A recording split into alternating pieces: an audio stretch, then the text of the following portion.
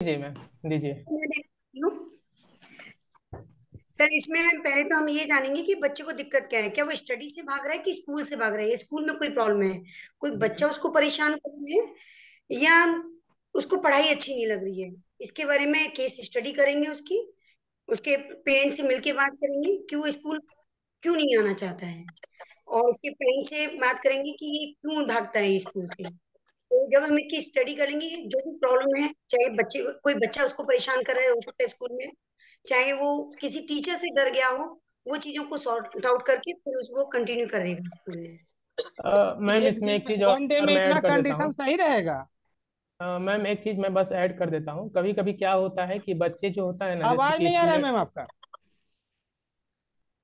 उज्जवल बोल रही है यार मैडम नहीं बोल रहे। उज्जवल बोलिए अच्छा बोल रहे हो। जी सर मैं ऐड करना चाहता हूँ कभी कभी क्या होता है कि बच्चे जो होते हैं ना, सर स्कूल आते हैं तो दोस्त दोस्त वगैरह सब आते हैं स्कूल तो कभी कभी टाइमिंग में थोड़ा सा डिफ़ॉल्ट टाइम हो जाता है तो कुछ दोस्त कहने लगते हैं कि आज स्कूल नहीं जाएँगे, ठीक है ना? आज स्कूल को ड्रॉप करेंगे हम लोग। तो ऐसा भी होता है, इस कंडीशन में भी बच्चे स्कूल नहीं आते हैं और कहीं बाहर निकल जाते हैं और स्कूल के टाइमिंग तक बाहर घूमते रहते हैं, फिर स्कूल फिर अपने घर चले जाते हैं टाइमिंग से।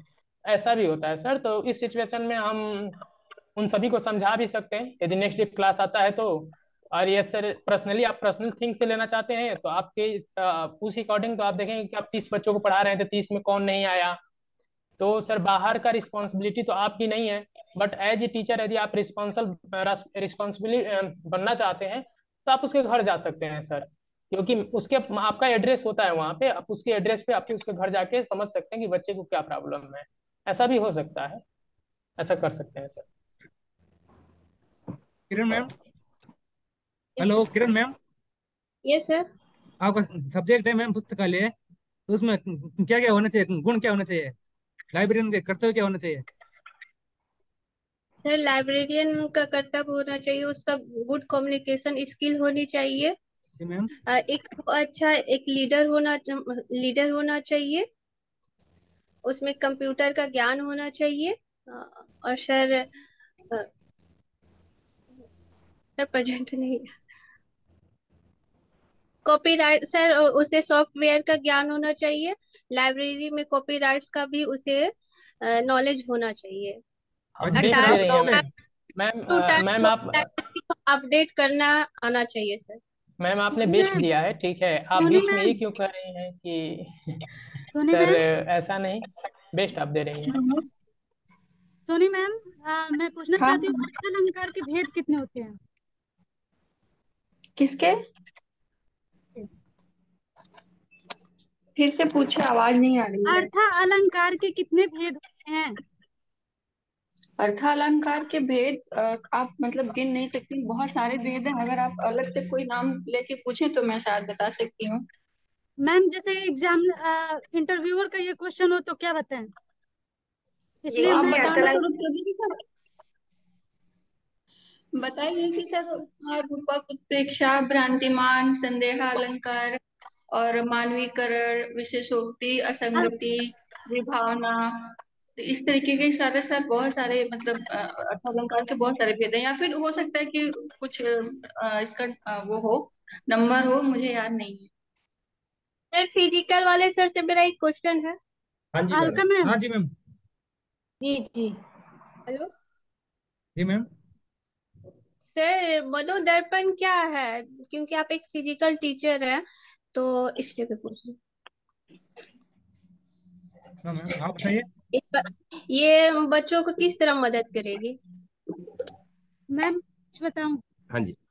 मनोदर्पण। हाँ जी हाँ जी ऐसे बता दीजिए। मैम मनोदर्पण मनोदर्पण कोविड के दौरान चलाया गया था। जो बच्चे उस टाइम स्कूल से दूर हो गए थे उनका जो मेंटल हेल्थ था उसको ध्यान में रखने के लिए मनोदर्पण चलाया गया था। Yes yes ma'am Alka ma'am मेरा मेरा सवाल था अर्थ बताना चाहेंगी अर्थ अलंकार के डेफिनेट मतलब मैं भी निश्चित तो उसका संख्या नहीं पता है मुझे एग्जैक्टली exactly, इसलिए आपसे पूछ रही हूँ मैम संख्या ने इसकी ढेर सारी जब अलग अलग किताबें पढ़ी है तो अलग अलग में जैसे संख्या कहीं पर्टिकुलर नहीं दिया हुआ है। हाँ अर्थ अलंकार बाकी मैं अगर होगा तो इसको देख के आपको बताऊँगी मुझे भी एग्जैक्ट नंबर ही पता नहीं है कि कितनी आज विजया मैम की कमी हम लोग क्लास में खल रही है। मैम अस्थाई भाव कितने हैं? नौ या टेस्ट होगा।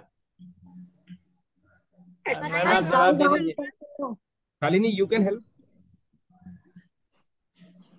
ma'am अस्थाई भाव भाव की की संख्या नौ है या ग्यारह? नौ नौ नौ है। इंटरव्यूअर पूछे नौ तो मतलब नौ बताइए या ग्यारह क्योंकि दो तो भक्ति और वात्सल्य बढ़े हैं ना तो हम नौ बताइए या ग्यारह? नौ ही है। नौ है। ढाई भाव नौ है। Okay ma'am. आप आप ऐसा करिएगा ना किसी ऑथेंटिक बुक में देख लीजिए। और वहाँ जितनी संख्या दी हुई होगी उसको आप याद कर लीजिएगा ताकि उस बुक का आप रेफरेंस दे सके क्योंकि अलग अलग कितना जैसे आप वासुदेव नंदन अग्रवाल की बुक देख लीजिए वहाँ कितना दिया हुआ है वही आप बताइएगा। इसका ओके आंसर हम इस तरह दे सकते हैं गौतमुनि के अनुसार मेरा एक क्वेश्चन है। जुड़े हुए हैं। इस तरह हम इसका आंसर दे सकते हैं। ये क्वेश्चन पूछा भी गया है तो मैं प्री क्लासेज में उपस्थित उपस्थित सभी लोगों से पूछता हूँ कि औपचारिक शिक्षा और अनौपचारिक शिक्षा में अंतर बताइए। ये क्वेश्चन रिपीट मैं कर रहा हूँ इसलिए कि ये क्वेश्चन आप इंटरव्यू में पूछा जाएगा। यहाँ नाइन्टी नाइन परसेंट चांसेज है। सर मैं औपचारिक अनौपचारिक शिक्षा के बारे में बता रही हूँ। औपचारिक शिक्षा औपचारिक शिक्षा वो होती है जिसका कि स्थान समय और सब कुछ निर्धारित होता है पूर्व निर्धारित होता है। वो जी जी। वो प्री डिसाइडेड होता है। और जो अनौपचारिक शिक्षा है वो हम कभी भी कहीं भी उसका कोई एज बाउंडेशन नहीं होता ना उसका कोई सिलेबस होता है वो हम चलते फिरते कहीं किसी एक्सपीरियंस ले लेते हैं वो भी अनौपचारिक शिक्षा के ही अंतर्गत आएगा। किरण मैम लाइब्रेरी के लिए आप जा रही हैं हैं? किरण मैम आप लाइब्रेरी के लिए जा रही हैं? आपसे भी ये क्वेश्चन किया जाएगा आप अपने अकॉर्डिंग बताइए इसका आंसर दीजिए।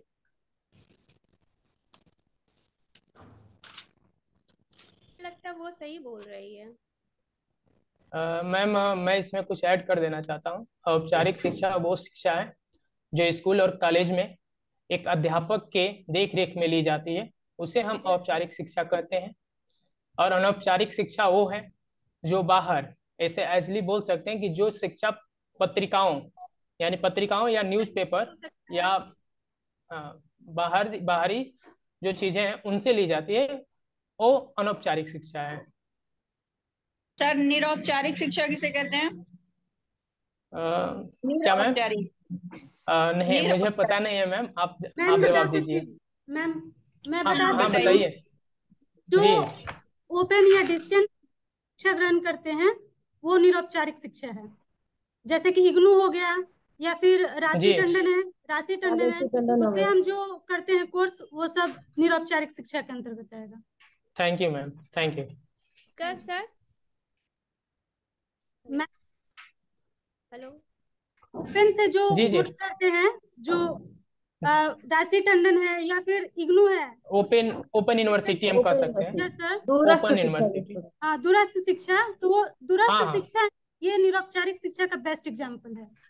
हाँ ठीक है ma'am thank you next sir question मेरा क्वेश्चन है। यस यस आदित्य पुस्तकालय आंदोलन कहाँ से चालू हुआ था और भारत में इसका मतलब कौन थे मुख्य? यस उज्जवल। देखिए सर पुस्तकालय आंदोलन जो है आप भारत के अकॉर्डिंग आप पूछ रहे हैं सर? भारत में नहीं नहीं विश्व से चालू किए और भारत में कौन किए थे ये पूछ रहे हैं सर। विश्व कहाँ से से चालू चालू हुआ था और हाँ। विश्व से विश्व में जब चालू हुआ सर वो 1800 ईस्वी में हुआ था। लाइब्रेरी ऑफ़ कांग्रेस से उसका अधिवेशन चालू किया गया। वहीं से चालू हुआ और अब सबसे पहले आ, आपके कोलकाता में आया सर। और कोलकाता में एक पब्लिक लाइब्रेरी का नाम दिया गया इसको। 1835 ईस्वी में इसका शुभारंभ हुआ। और कोलकाता के जो विशिष्ट लोग हैं जो वहाँ के लोग और विद्वान हैं वहाँ अड़सठ हज़ार पुस्तकें इकट्ठा करके और उन्होंने Kolkata sorry Kolkata public library का अ, उन्होंने एक उद्घाटन किया मतलब उन्होंने Kolkata primary Kolkata public library बनाया, ठीक है? फिर क्या हुआ सर कि 1844 में इसे मेट का भवन में स्थानांतरित कर दिया गया। 1844 में इसे मेट का मेट का भवन एक, जो कि एक निर्माण किया गया भवन का, उसका नाम रखा गया मेट का भवन। उसमें इसको स्थानांतरित कर दिया गया।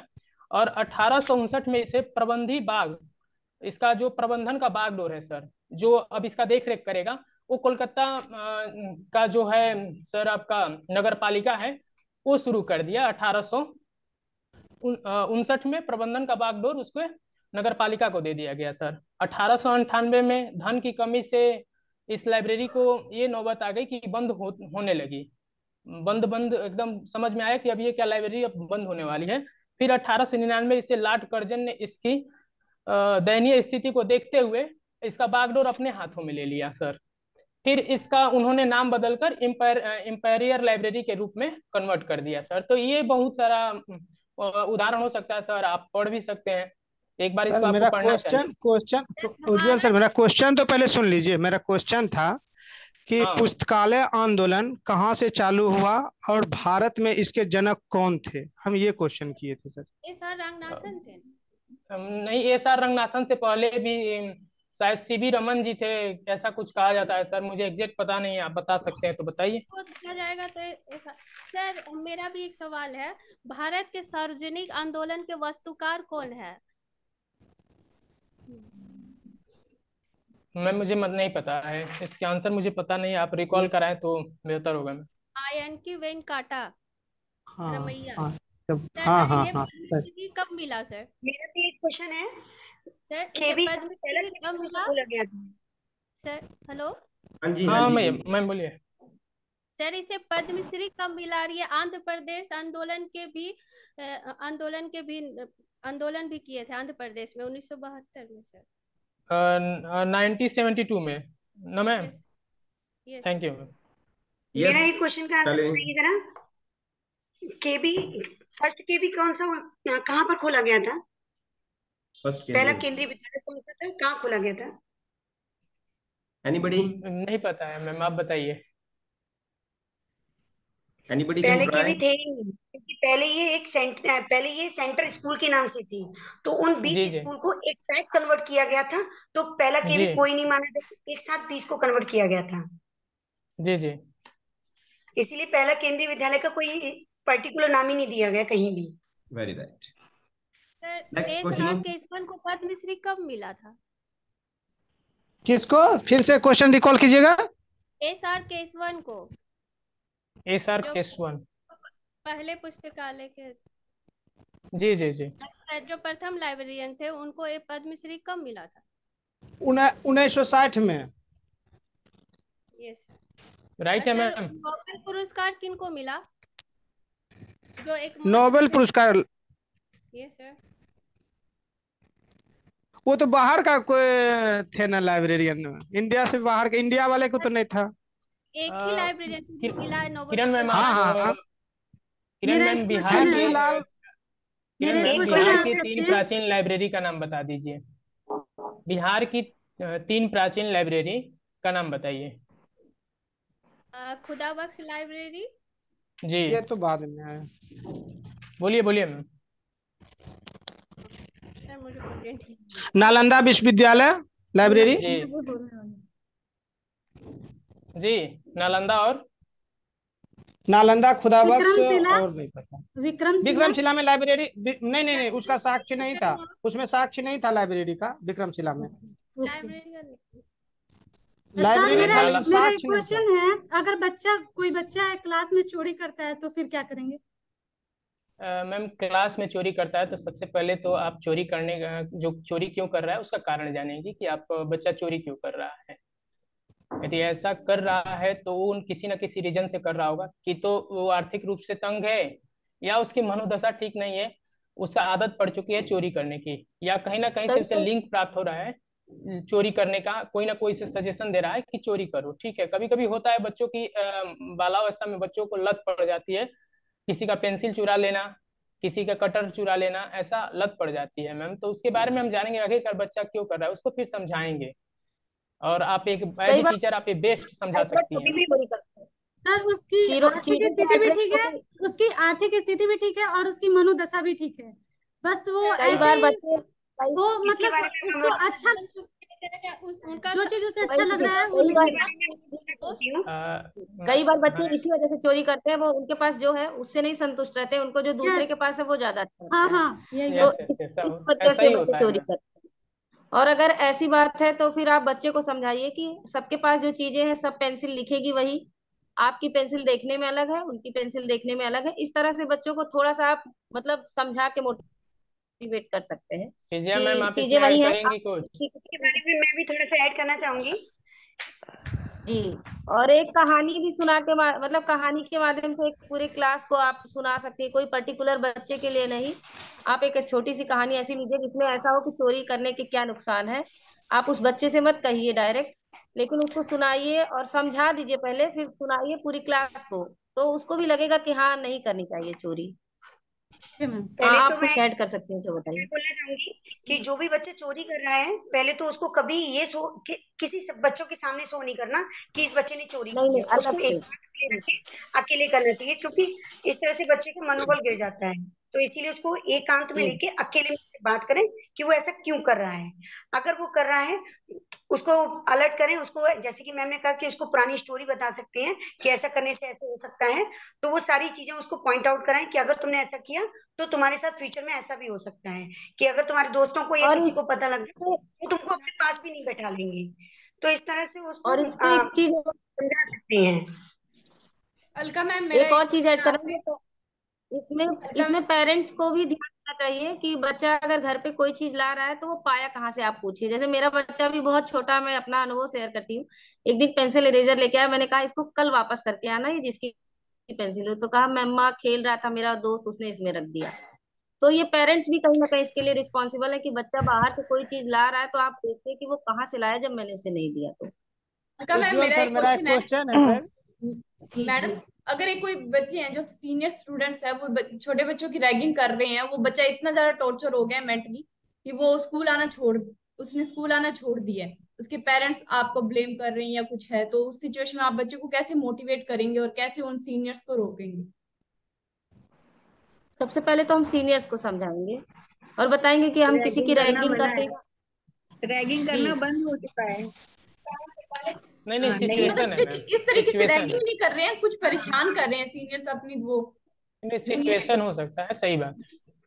तो हाँ आप जो बड़े बच्चे हैं पहले बड़े बच्चों को जो कर रहे हैं उनको बुलाइए और उनको ये समझाइए कि आप ऐसा कर रहे हैं कोई बच्चा स्कूल नहीं आएगा तो उसकी लाइफ को मतलब उसके आगे की लाइफ बच्चा फ्यूचर उसका क्या रहेगा? आप उनको मतलब मेंटली ज़्यादा वो करके समझाइए। डांटेंगी तो वो नहीं मानेंगे। पहले तो लेकिन मैम छोटे बच्चे से समझेंगे ना मैम। एक बाकी कि बात है समझ गया लिया तभी बात सामने आई है ना। जो जिसने स्कूल आना छोड़ दिया है हाँ मेरे साथ भी हुआ था ये मेरी ही क्लास में एक बच्चा था जिसने स्कूल आना छोड़ दिया था। तीन दिन वो स्कूल नहीं आया। तो मैंने उसको कॉल किया तो पता लगा कि उसको गाड़ी में एक बच्चा परेशान करता है। बैन से बच्चे जब घर जाते हैं ना उस बैन में बच्चा परेशान करता है। उसको बैठने नहीं देता है बार बार परेशान करता रहता है। जब हमको पता लगा कि उस बच्चे ने परेशान किया तो मैं उस बच्चे के पास गई। वो सेवेंथ क्लास में बच्चा था और जो बच्चा नहीं आ रहा था वो सिक्स क्लास का बच्चा था। सेवेंथ क्लास का बच्चा सिक्स क्लास को परेशान कर रहा था। तो मैंने उस बच्चे को बुलाया फिर उसको बहुत अच्छे से डांटा मतलब लेके अकेले में बस अच्छे से समझाया। डांटा ऐसे नहीं कि बहुत ज़्यादा डांटा अच्छे से समझाया कि अगर तुम ऐसा करे हो कल को तुमको भी सीनियर बच्चे कर सकती हैं। आज तुम उसके साथ कर रहे हो तो तुमको भी तुमसे भी सीनियर है ना वो भी तुम्हारे साथ करेंगे इस तरह से। कभी कभी ऐसे बच्चों को कभी कभी ऐसे बच्चों को सामने डांटना भी ज़रूरी होता है ताकि जो और सारे बच्चे हैं वो ये सीख लें। कि अगर हम ऐसा करेंगे तो फिर तो हमारे था। भी डांट पड़ेगी। इस तरह की छोटी छोटी तो बातों को हम सामने भी कर सकते हैं। ऐसा नहीं कि हम टीचर हैं तो बच्चे को हमें पैम्पर करना ज़रूरी नहीं है। कुछ कुछ चीज़ों को सीखने सीख देने के लिए और सारे बच्चों को करना पड़ेगा। और उस बच्चे को कैसे मोटिवेट करेंगे जो जिसने आना छोड़ दिया? विजय मैम आंसर दीजिए मैम। इसमें ये हो सकता है कि जो बच्चा नहीं जो बच्चा नहीं आ रहा है उसको स्कूल में बुलाया जाएगा उसकी काउंसलिंग की जाएगी और उसके मन से इस डर को निकाला जाएगा कि आगे से अब तुम्हारे साथ ऐसा कुछ नहीं होगा हमने चीज़ों को सॉल्व आउट कर दिया है। मैंने दोनों में दोस्ती कराई और अच्छे से दोनों को मिला के और बच्चे को बुला के विश्वास दिलाना होगा कि अब आगे तुम्हारे साथ कुछ भी नहीं होगा। जो बच्चे उसको परेशान कर रहे थे उन दोनों को आमने सामने बिठाया बिठा के भी बात करवाइए कि हाँ ऐसा ऐसे अब मेरी हम आगे मेरी ही नहीं बेटी के करेंगे साथ हुआ था कि उसकी टीचर ने उसको डांट दिया उसको बुखार हो गया डर के मारे। दो तीन दिन वो स्कूल नहीं गई फिर वहाँ से फ़ोन आया फिर हम लोग सारी बात बताए फिर इसको बुला के उसकी काउंसलिंग की गई तो फिर नेक्स्ट डे जाने के लिए राज़ी हो गई थी। आ- आदित्य कि सर मेरा एक क्वेश्चन है। मेरा पहले क्वेश्चन सुन लीजिए उज्जवल सर सर कि हाल ही में एक लाइब्रेरियन को अम, अ, पद्मश्री मिला वो कौन थे? हाँ बताइए सर। पीएन कॉल सर 2004 में मिला था। इधर इधर इस वर्ष कल दस दिन पहले मिला है। अच्छा अभी अभी जो पद्मश्री अवार्ड घोषित जो चल रहा था कार्यक्रम उसके अंतर्गत मिला है। जी बताइए हाँ सर। हाँ। कौन कौन थे वो? पता नहीं हमको। हम तो आपसे पूछे। ठीक है मैं आपका आंसर दे दूँगा सर। थोड़ा सा मुझे मैं अभी नोबेल नहीं पढ़ा हूँ। कल विकास सर बोले थे कि आप ऐसा कर लीजिए कि नोबेल पढ़ लीजिए मैं उसके बारे में थोड़ा सा पढ़ लूँगा तो मैं आपको इसका आंसर बेस्ट आंसर दे सकता हूँ। और मेरा क्वेश्चन था ये बताइए स्कीमा क्या है? कौशिक सर ये बताइएगा स्कीमा क्या है सर बताइए। Schema word DBA data structure database में यूज़ किया जाता है। जी जी आ, ये डा, डा, डाटाबेस की जो स्ट्रक्चर कैसा होगा उसकी कंस्टेंट क्या होंगे क्या क्या उन पर रूल लगेगा ये सब का जो जी। सेट होता है सबको मिलाकर इसको स्कीमा कहते हैं। जो डाटाबेस की उसको कहा जाता है जो आपकी बनी हुई कृति होती है उसको स्कीमा कहा जाता है हमारे जी प्याजी ने कहा है ये मनोविज्ञान नहीं मैं अकॉर्डिंग नहीं कौशिक सर के अकॉर्डिंग सीख रहा हूँ। जानना चाहता हूँ मैंने कहा कि हमारे अकॉर्डिंग साइकोलॉजिस्ट जीन प्याजी जी हैं उन्होंने ये बोला है कि स्कीमा कल जो आपके अंदर बनी हुई आकृति होती है कल ऐसा ही हुआ था मैम कल ऐसा ही हुआ था। मैं एक ग्रुप डिस्कशन कर रहा था उसके अंतर्गत मैंने लिख दिया कि स्कीमा क्या है। उधर से आंसर आ गया जो आप बीएड में होता है वो वाला। मैं बोला कि ये नहीं होता है आंसर आंसर कुछ और था। जो कौशिक सर बता रहे हैं वो आंसर बेस्ट है सर थैंक यू सर और सर अच्छा सर लेकिन वो वो आंसर हमारे लिए तो मतलब हम जो जिस चीज़ की तैयारी कर रहे हैं वो स्कीमा हमारे लिए मनोविज्ञान हमारे काम का है तो हमारे लिए वही लाइब्रेरी से रिलेटेड मैं क्वेश्चन किया था मैम ये कंप्यूटर रिलेटेड है। और ये बताइए डिस डिसलेक्सिया के बारे में आप क्या जानती है? कोई बच्चा डिसलेक्सिया से जूझ रहा है तो आप उसको कैसे बाहर निकालेंगी?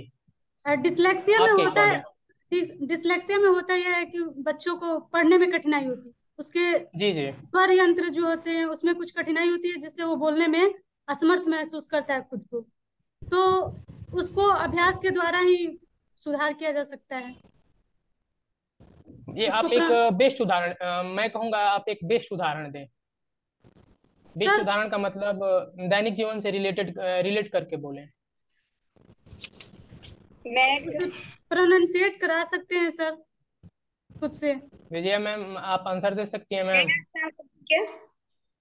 यस यस मैम दीजिए। डिसलेक्सिया एक पठन विकार है जो कि अक्सर सेवेंटी परसेंट लोगों में पाई जाती है। नॉर्मल हम लोगों में भी पाई जाती है। बहुत सारे शब्द हैं जो कि हम लोग गलत बोल देते हैं, क्योंकि वो हमारी आदत में बन चुकी हैं। इसीलिए ये कोई, इसको इतना हाई नहीं लेना चाहिए। अगर बच्चे के अंदर है, उसको समझाओ कि बेटा तुमको कोई बीमारी नहीं है, ये कॉमन बात है। और इसको सुधारा भी जा सकता है प्रैक्टिस के द्वारा। सिर्फ़ और सिर्फ़ इसका इलाज यही है कि आप बार बार प्रैक्टिस करें। जितनी आप प्रैक्टिस करेंगे, उतना जल्दी सुधर जाएगा। जैसे कि आप हम लोग सात साल में गड़बड़ कर देती हैं। और ड ड में गलत करते हैं। अणा न्या अणा ये होती है और हम लोग तीनों को एक ही एक ही स्वर में बोलते हैं। अणा अणा बोलते हैं। तो ये चीज़ ना उसको बता सकते हैं। देखो ये ऐसे ऐसे लोग भी बड़े बड़े लोग भी इसको गलतियाँ कर देते हैं। और इन चीज़ों को बार बार प्रैक्टिस करा के करा सकते हैं। और हम दैनिक जीवन में उसको बोल सकते हैं जैसे कि जो भी हम शब्द करते हैं वो अर्थ को क्लियर कर सकते हैं। जैसे कि स्टिक और स्ट्रिक दोनों वर्डों को उसको एक्सप्लेन करें तो वो चीज़ों को समझ सकेगा कि हाँ इस तरह से दोनों में अंतर है। जो कि हम लोग की हिंदी भाषा में बोलते हैं संस्कृत भिन्नाटक ओके मैम एक और क्वेश्चन है मेरा। रस सिर्फ़ काव्य में ही होता है या फिर गद्य में भी होता है? रस। रस काव्य में ही माना जाता है। काव्य की काव्य को ही बढ़ावा दिया जाता है। रस जैसे जैसे काव्य में रस का रस की परिभाषा ये होती है जिससे आपको स्थायी भाव जो आपके अंदर है वो जागृत हो जाए। आपके अंदर नाटक क्या है? नाटक किसी नाटक को भी तो है? देखते गद्य हैं कि काव्य है। नाटक को भी देखते हैं। दृश्य काव्य।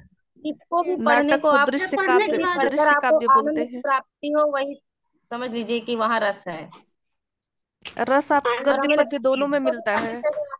विजय मैम को पढ़ने से भी कई मैम आप हाँ वही तो मैं बता रही जैसे आप नाटक है उसको दृश्य काव्य बोला जाता है। Yes ma'am. जब हम नाटक को देखते हैं हमको एक अनुभूति होती है हमारे वो, भी मान लीजिए वहाँ से भी रसास्वादन होता है भरत मुनि के अनुसार। मैम। तो सिर्फ़ काव्य में आप नहीं बोल सकती कि रस मिलता है आपको नाटक में भी मिलेगा उपन्यास भी पढ़ते हैं तो आप आनंदित होते हैं। तो यस सभी मैम। विधाओं में रस का आस्वादन होता है। Okay thank you Nisha ma'am. मेरा क्वेश्चन है मैम। इसका अर्थ भी आनंद होता है तो जहाँ भी हमें आनंद की प्राप्ति वहाँ रस होगा। मैम आप प्राइमरी स्तर के बच्चों को पढ़ा रही हैं और आपसे श्रृंगार रस की परिभाषा पूछा जा रहा है कि श्रृंगार रस की परिभाषा बताइए। तो श्रृंगार रस का परिभाषा का बेस्ट उदाहरण आप कैसे देंगे? आप प्राइमरी स्तर के बच्चों को पढ़ा रही हैं न कि मिडिल स्तर? प्राइमरी में प्राइमरी में पहली बात तो रस नहीं है। यस yes, नहीं मैम मेरे कहने के अकॉर्डिंग ये ज़रूरी नहीं है सिचुएशन बेस्ड क्वेश्चन है। मैं मुझे रस पढ़ाना बस बताना है मैम को कि आखिरकार प्राइमरी स्तर के बच्चों को आप कैसे बताएँ? अगर नहीं है तो हम बता सकते हैं कि जिस तरह से तुम अपने दोस्तों से मिलते हो उसके बाद तुमको खुशी होती है ना उसको कहते हैं सहयोग रस। जब तुम्हारा दोस्त तुमसे दूर चला जाता है तो उसको कहते हैं वियोग रस। अपनी माँ से बिछड़ के आते हो स्कूल आते हो माँ से बिछड़ के आते हो उसको कहते हैं वियोग रस। जब तुम स्कूल से घर जाते हो माँ से मिलते हो गले लगते हो उसको कहते हैं सहयोग रस। सहयोग रस बहुत अच्छा। बहुत अच्छा बेस्ट कौशिक सर, मेरा एक क्वेश्चन है। लाइब्रेरी नेटवर्क किसको किसे कहेंगे, सर? लाइब्रेरी नेटवर्क हो सकता है ये एक प्रकार का नेटवर्क है जिसमें बहुत सारी लाइब्रेरी एक साथ से जुड़ी हो। और कहीं मतलब एक दूसरे से डाटा एक दूसरे से शेयर कर रहे हो और अपनी डाटा डाटाबेस को अपडेट करते हो। मैं मैं मुझे तो यही लग रहा है आप बता दे कुछ इसको आदित्य सर इसी क्वेश्चन में मैं थोड़ा सा इसको मॉडिफाई कर देता हूँ। आप ही के अकॉर्डिंग आपका क्वेश्चन है आप ही को आंसर देने के लिए थोड़ा सा वो कर देता हूँ बाधित कर देता हूँ। ये बताइए लाइब्रेरी नेटवर्क में कितने कंप्यूटर जुड़े होने चाहिए? अभी इसका वो नहीं किया गया है बट प्रतिपादन नहीं किया गया है बट आप बताइए कि लाइब्रेरी नेटवर्क में कितने कंप्यूटर जुड़े होते हैं जुड़े होने चाहिए और इसके लाभ क्या होंगे? नहीं पता है सर हमको।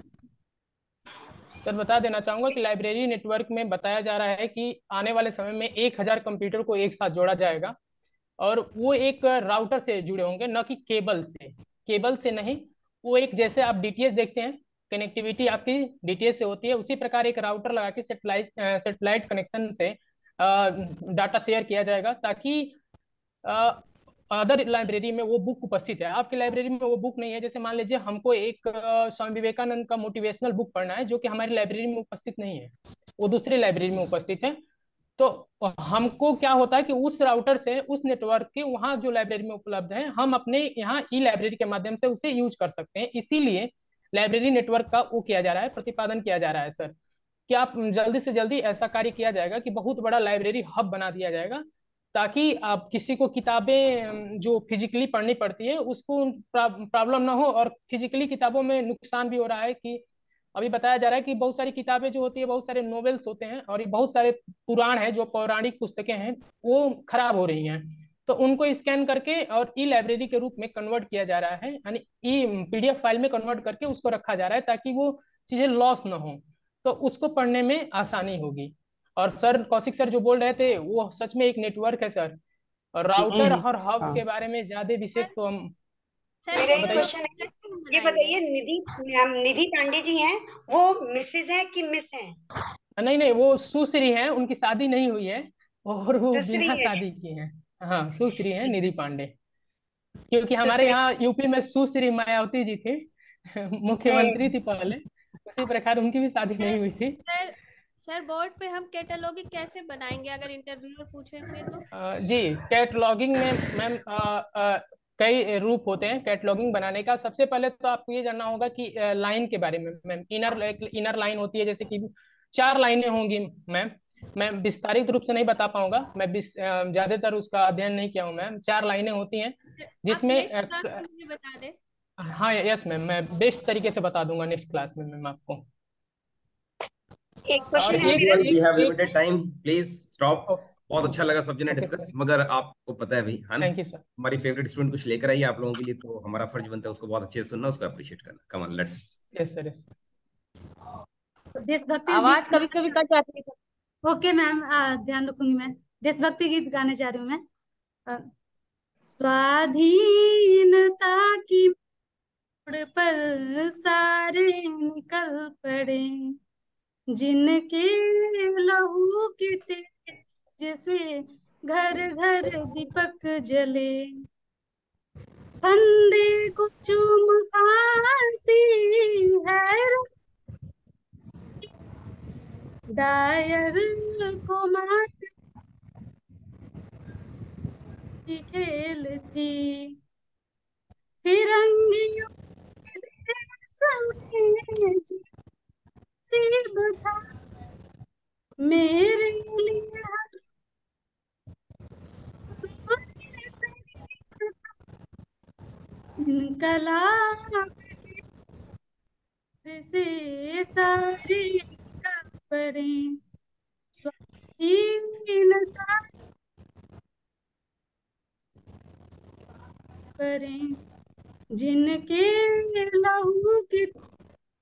से घर घर पक जले।